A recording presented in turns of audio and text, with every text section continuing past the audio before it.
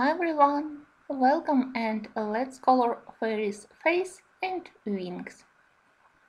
Before I started to color fairy's skin, I added highlights from lanterns and I used deco yellow. I mostly did these highlights on the right part, which is closer to the lanterns. As a basic skin tone, I used light peach and added some shadows using light umber and more soft yellowish color using eggshell. As our fairy is carrying light, I decided that her wings also have to be in warm colors. So I used uh, henna and pumpkin orange to do the border of each wings and for the rest of them I used mix of cream, touches of deco yellow and a little bit of eggshell. And don't forget that wings behind her back have to be a little bit darker because there we have a shadow from the lantern. I had a lot of doubts about her hair. First I thought maybe I want her as a red hair, but then I decided to go for more fairy tale looks. So I first covered all hair using light blue. I think that it was sky blue light and a little bit of lilac. Then I covered all black lines using a very small brush and opaque white gouache, but you can use any opaque paint, acrylic or gouache. Link to my brushes will be in the info box. I really love this set. After that, after my paint is dried completely, I added a second layer with same pencils, sky blue light and lilac. When I finished to color everything with my Prismacolor pencils, I really liked how my fairy looked.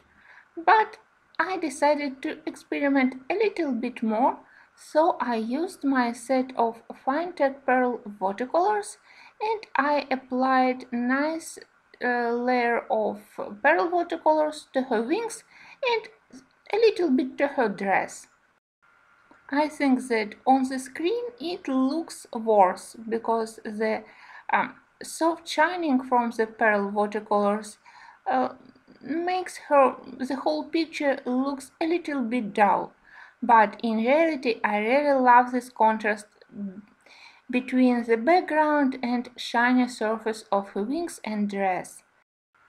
On the last step I sprayed a little bit of bronze watercolor on the background and now it looks like everything around my fairy is covered with nice fairy dust and it's also very nicely shining. I would appreciate if you let me know below in the comments how many of you have Meredith Dillman books in your collection and which one about fairies or about foxes and whether or not you want me to continue doing tutorials from her books. And thank you for watching. By the way, my Instagram is working again and I added there all my latest works. Для феи я выбрала светлый тон кожи, делаю я его обычно с помощью светлого персикового карандаша, но до этого на ее левом плече и левой щеке я добавила желтым отблески от фонариков. И еще к коже я добавляла оттенок Eggshell. Это нечто среднее между кремовым и желтым, то есть он желтый с розоватым подтоном.